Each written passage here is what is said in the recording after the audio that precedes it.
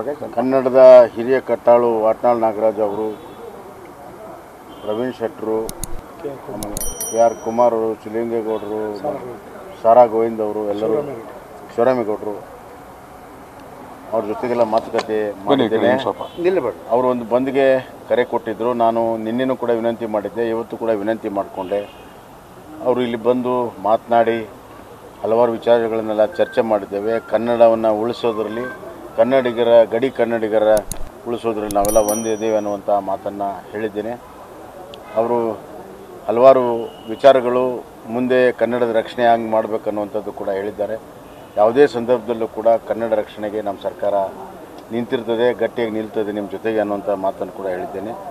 ನನ್ನ ಒಂದು ಮನವಿಗೆ ಅವರು ಮನ್ನಿಸಿ, ಇಲ್ಲಿ ಮಠ ಬಂದು ಗೌರವ ಕೊಟ್ಟು ಬಂಧನ ಹಿಂದೆ ತೆಗೆದುಕೊಳ್ಬೇಕನ್ನುವಂಥ ಒಂದು ತೀರ್ಮಾನವನ್ನು ಅವರು ಮಾಡಿದ್ದಾರೆ.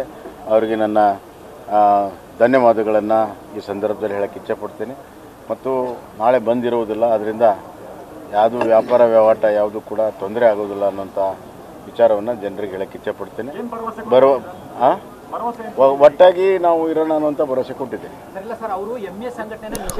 ಅನ್ನೋಂಥ ಎಲ್ಲ ವಿಚಾರಗಳು ಕೂಡ ಚರ್ಚೆಗಾಗಿದೆ ನಾನು ಈಗಾಗಲೇ ಆ ವಿಚಾರ ಪಬ್ಲಿಕ್ ಆಗಿ ಹೇಳಿದ್ದೀನಿ.